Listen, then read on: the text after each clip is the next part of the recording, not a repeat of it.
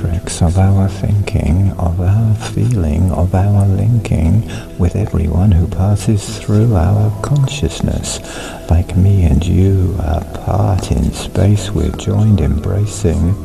We are one and we're both facing possibilities of meeting, touching, seeing, warmly greeting in the matrix coalescing, we're attracting, we're caressing, we feel love when we let go of everything we think we know.